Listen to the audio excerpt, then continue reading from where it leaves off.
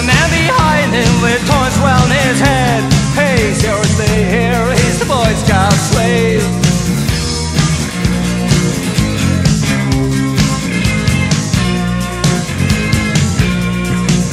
Let's play Titanic.